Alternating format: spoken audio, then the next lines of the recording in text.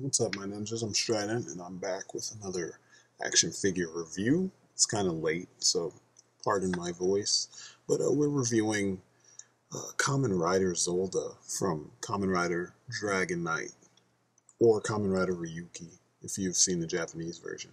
This is a Kamen Rider that uh, I've liked. I've always dug the design. I saw him in the SIC version first, which was way more um, exaggerated. All the weaponry is really exaggerated, so I thought that's what he really looked like.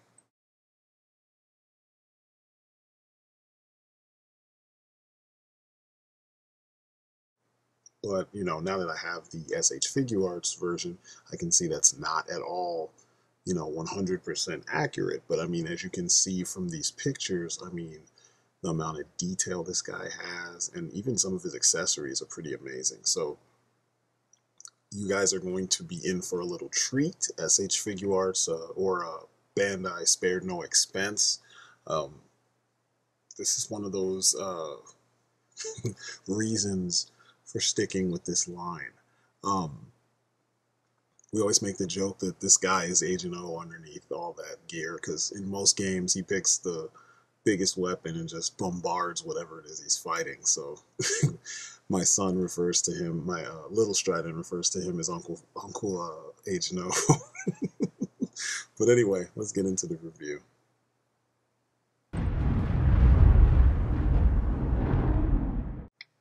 Sculpt and paint. It's an SH Figuarts. I almost don't feel like I need to go into it, but for those of you who might be brand new to this whole import toy thing or SH Figuarts versus, you know, anything else, these are easily the best. You know, if you're looking for show or movie accurate figures, or actually in some cases, video game accurate figures, SH Figuarts is where you want to look. Figma comes pretty close, but SH Figuarts, they take the whole engineering thing to the next level. So your paint will be top notch, your accessory count usually is top notch, and the actual design of the character will look exactly like what you saw in the film, video game, anime, tokusatsu, whatever. It's that's just the way they do. Um, I dig the Kamen Riders, and I've said this in other videos because things that, that you design wise, there are so many things that you see on a Kamen Rider that you don't typically see on your typical Sentai figures or your anime figures. You know, all the compound parts, you know, um, like those yellow lights. Um, the amount of detail that goes into like, you know, a helmet or armor or even the weapons. You see it sometimes in anime figures, but you don't necessarily see it so much on your uh, tokusatsu figures. So it it it's uh, or I'm sorry, your your Sentai figures. You definitely don't see this shit on American figures, you know? McFarlane and NECA tend to put a lot of detail, but it's not always functional detail. This is where it all comes together, and it's just amazing. I mean, every piece of this sculpt works with the articulation and everything else of the figure. Um, you know, looking at the figure, you think up top he would be restricted a lot, and he's not restricted. I mean, there's so many little details, and just putting him in motion, it really brings the figure to life and really shows you how well uh, constructed and engineered this figure actually is. I was surprised, you know, to some degree. I've come to expect it from them, which is why I collect them. But uh, I was pretty surprised because I was thinking there's got to be some area where this guy falls short. But he's more posable than some of my SH Figuarts that are uh, Sentai based characters. You know, like Red Buster, who has nothing actually physically should be in the way of his arms to prevent him from putting them close together so he could hold a gun with two hands. Um, he can barely do that. But this guy, even with those giant shoulder pads, masterfully engineered and it's it's something you hear me talk about a lot and it's a complaint that i have with uh, marvel legends because they they don't have that much detail on them and they could be engineered a lot better especially figures that we're getting for like the second or third time between you know hasbro and toy biz and uh, you don't get it. But the prices are still going up. But you look at this dude every weapon every little piece everything and figma makes one too and to some degree, if you have the two standing side by side and they're in like cool poses, it's hard to tell which one is which. There are little things that give it away, but I mean, look. you know what I'm saying? That's just, man. I don't know how else to describe it. It's just, these guys are a sight to behold. It's, um, I don't know. I don't know. It, these figures are usually so good that it's difficult for me to elaborate on things because it's usually really straightforward. Like, look, the, the gun is huge. The gun is bigger than the figure, and he can hold it with no problem.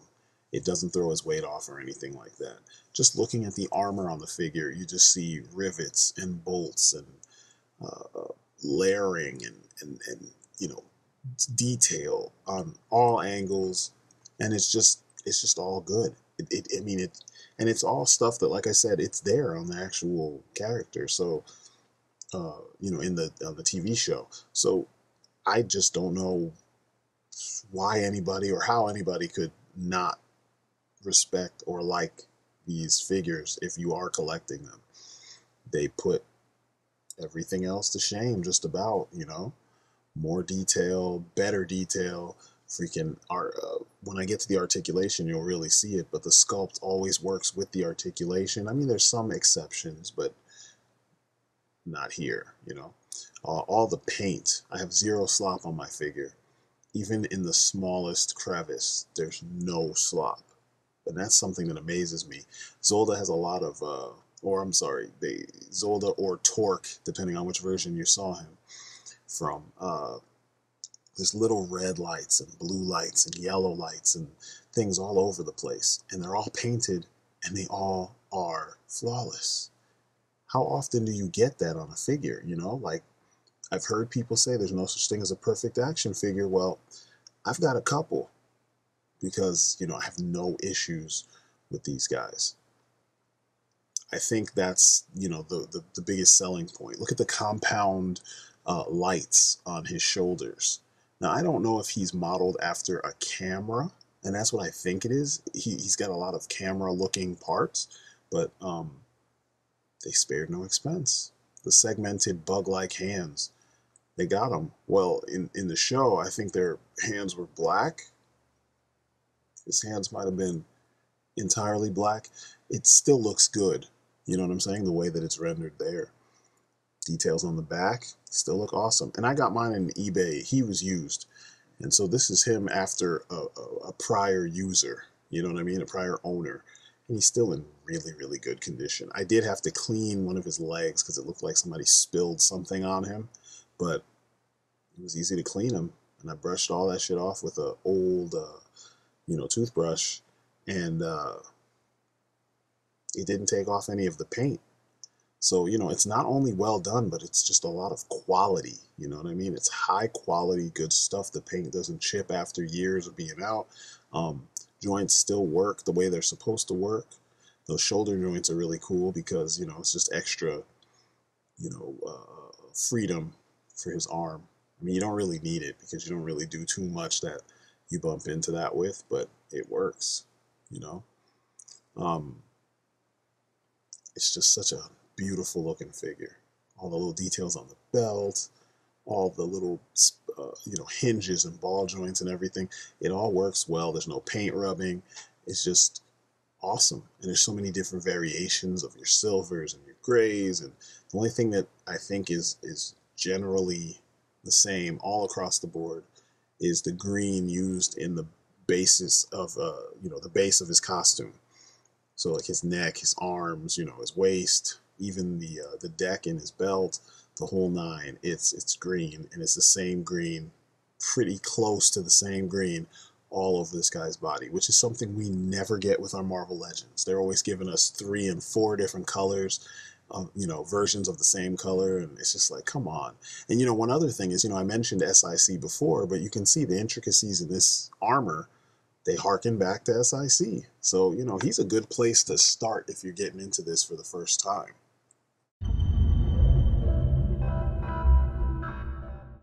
Accessories, man.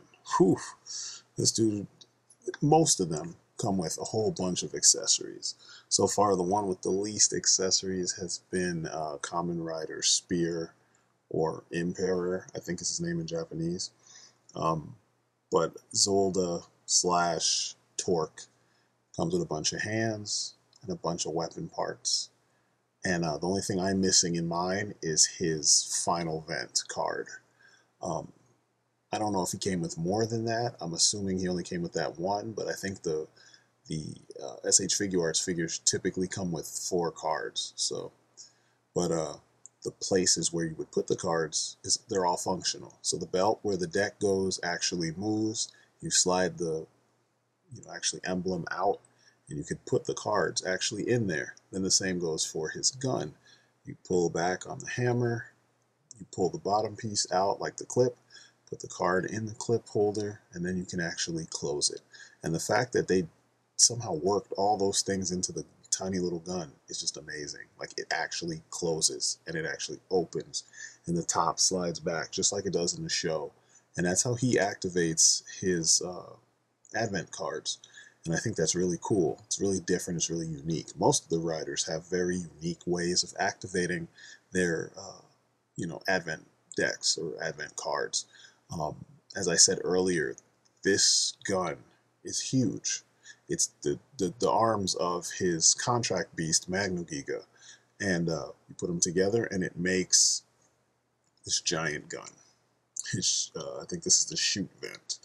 Um, my only gripe is that these individual pieces, because all of his guns are parts of his contract beast, you can't put those pieces together and make the actual contract beast. And you're only like one or two parts away from, you know, having the whole thing. And somehow they just, they're like, nope, you're not to be able to do it. And it would have been nice if you could, you know. But it's an impressive freaking uh, weapon right here. And, you know, it looks on model 100%. It's exactly what you saw in the show and the movie. It's just, it's, it's a great, it's a great piece. Um, his uh, details on his back. So you see those connection points. That's what we call them. Uh, a lot of the riders have them all over their bodies, and on most of the SH Figuarts versions, a lot of different ones can be removed for one reason or another. The back ones on uh, Zolda, they're no different. You can actually remove them. It's you've got an L and R on the connection points themselves, and the holes, you know, above the holes as you can see here, so you know which one goes where. Uh, this is for another, uh, well, I can't even remember what this vent was, but it's another one of his attacks. I think it was just called a, uh, it's another shoot vent, actually. But anyway, you know, the uh, uh, Giga Bazooka, or whatever they call this, you know, sits on his back, and uh, there you go it clips right into those holes perfectly and very sound. It, it doesn't really move around much. You can um, rest them. There are like uh, recesses in the bottom portions of the bazookas, and they um, rest perfectly on his shoulders, which I like because it makes it really easy to pose him. You know, if you want to play around a little bit and move him around and, you know, have these on him, they're not going anywhere. And, you know, that's what I mean when I'm talking about great uh, engineering. This guy is engineered to the max, and it works. I mean, he's a very technical looking character. Also, there is the little uh, kind of holster mode on his belt. It's kind of a hassle because all the parts are so small, but you know, it's a nice little touch in case you ever want to have him posed like that. This gun is a little technological marvel, all the things it can do. I mean, it really, really trumps the kind of shit that we typically get. And this is for a figure that I paid less than $30 for. So, you know, a lot of times uh, people complain about uh, the difference between import figures and, you know, domestic figures. And when you think about it, in, in, in many cases, if you were buying these things domestically, you wouldn't be paying the same price. And I'll get into that a little bit more. You wouldn't be paying much more, but I'll get into that in a little bit. But anyway, you can pull off the connection point. It leaves a hole. There is a little, uh, I mean, another connection point that has like a, a little black thing in it, like a peg that's on a ball joint as well. And uh, you kind of stick that all the way in there, you know, make sure it's uh, clipped into place. Then on the actual pistol itself, the magnifier, you can pull off the little silver thing at the very back, the round silver piece. You got to get your nails under there or get a um, X-Acto knife or, you know, a uh, screwdriver, you know, Phillips head or something, and you should be good. Um, you pull that out, and you see how you have that U-shaped recess? It clips right onto the peg that you have in the first place because that peg, the end that sticks out, is got that U shape to it.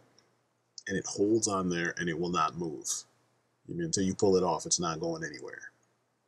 So, you know, if you want to have like, you know, a, a moment where your uh, Zolda or Torque has to uh, quickly draw his weapon and you want to pose him in that kind of manner, you can do so. It's kind of cool that, you know, they give you options. My guy's always going to have it in his hand unless he's doing something else. I just think he looks better holding it. And if he doesn't have it, it's just going to be you know, dematerialized or something. Now, the thing to look out for is storing the pegs. You know, these things are small. Um, you can see that they're in scale to the figure. It's not like they made them large so that we can notice them. Um, you need to have a place to put them as well as all the other small parts that come with this figure. And, you know, the Figmas are a one-up on these guys because they come with their own little baggie that you can put things in. Revoltechs have their own little box. Um, it's just one of those things. You need to be aware of it. You need to be prepared. So, you know, go to your hobby store, buy a bunch of tiny little Ziploc, Ziploc bags, or buy varying sizes of Ziploc bags and gather up all your stuff in there because you're going to be kind of pissed off when you realize that there are small parts that you might not have thought you needed that uh, you can't find them when you do end up needing them, you know? So be prepared, do that, and uh, you should be good with your um, accessories. And like I said, guys, a ton of accessories.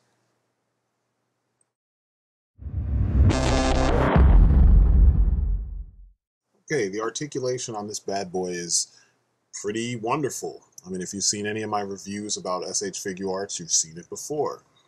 Um, you can look up really well. You have your double barbell and you have the, uh, I'm sorry, barbell and then the head articulation. So it can look up with no problem and emote really well. The left and right action is really simple and it works. Um, the shoulder pads are far away enough that it doesn't interfere with the head articulation. Like I said before, you have the barbell at the base of the neck, the neck, then the barbell at the top, and then the head. So you can emote really well, and the neck adds to that. The arms can move out to the side this much, and the shoulder pads do not restrict it at all. You can actually move the arms all the way up with no problem because the shoulder pads are on the arm itself, so they don't restrict the hinge. Uh, the arms are double jointed at the elbow.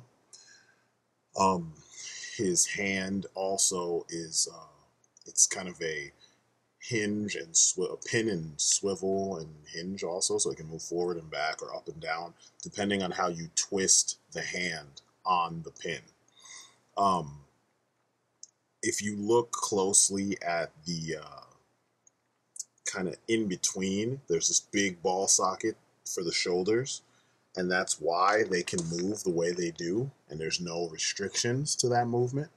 You can kind of see the space there's like a little bit of gapping but it's enough that it doesn't interfere with the articulation but it's not enough that it takes away from the sculpt engineering folks this is what i'm always talking about you've got ball socketed uh, or ball jointed i'm sorry uh, you know diaphragm or, or waist the waist is a similar joint to the neck.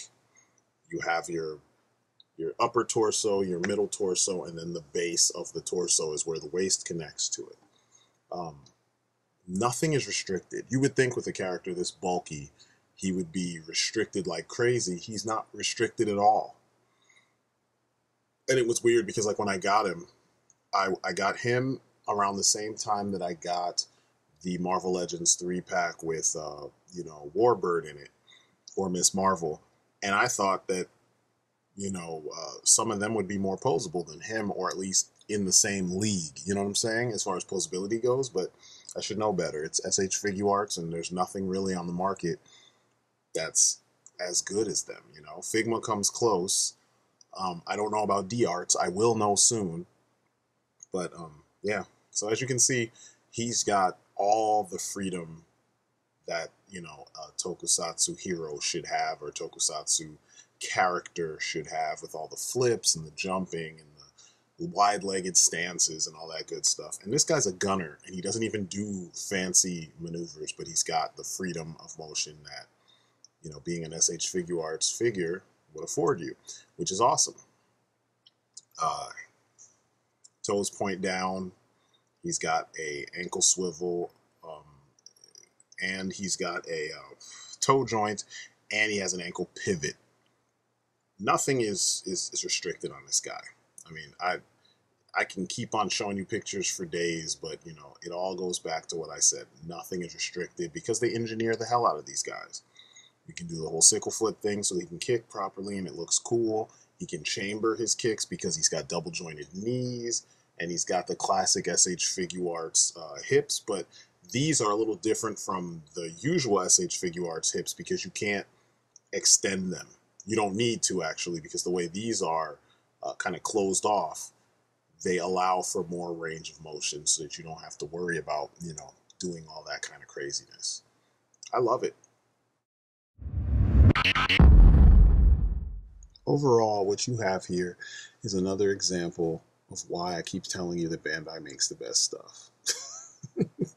Hands down, Bandai makes the best stuff. You just it's it's an undisputable, undeniable fact.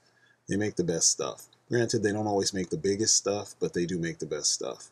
Um, Kamen Rider Zolda slash Torque is just a really well done figure. It's another one of the the, the great uh, tokusatsu figures coming from uh, Bandai and SH Figuarts. His accessory count is awesome. His posability is awesome. The paint and sculpt is just fucking amazing.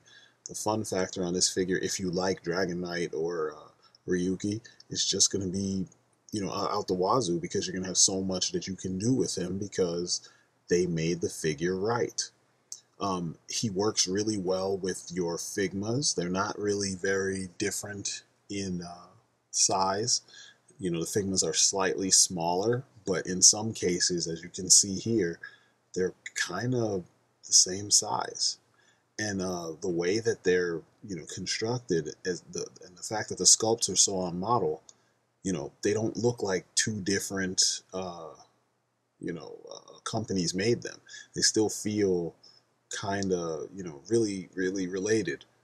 And they should, because I mean, it's based on the same show but I just mean construction wise. I mean, if you put them under the microscope, you can find the the differences. You know, the Figmas are a little bit more loosely painted. You will find a little bit of uh, slop, or I shouldn't even say slop, but you'll find uneven marks and whatnot on them. But you know, if you want to collect all 13 riders, you're going to have to make some compromises. And my compromise is to jump back and forth between uh, SH Figuarts and Figmas wherever I can find a deal.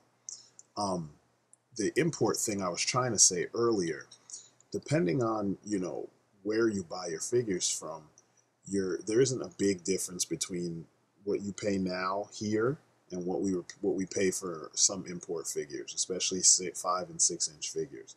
Um, a lot of the um, American action figure market is full of overpriced but under engineered and under uh, valued uh, figures. You know, the Marvel Legends are not as good as what you're told. You know, they're overhyped, but they're not quality figures. You know, the paint is not good. Sculpts are kind of eh.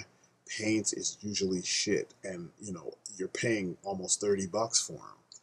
Well, here's a figure that I did pay almost thirty bucks for, and every single thing I told you that's wrong with your American figures, it's right here, and I paid the same price and got it shipped here. So, you know, you just have to look. I know people are impatient, and that's the biggest problem, and that's America in a nutshell. But if you're patient, you will find this quality. So this about wraps it up for me. This figure is just all win. Pick it up. You won't be uh, sorry. If you dig Dragon Knight, if you dig Ryuki, this is a must-have. End of story. So I'm Strydent. This has been my review of the SH Figuarts Kamen Rider Zolda or uh, Torque, depending on which show you've seen. It's an awesome figure. That's my story, and I'm sticking to it. Um, and I will be here for more reviews actually really soon. So uh, thanks for watching. Peace outside.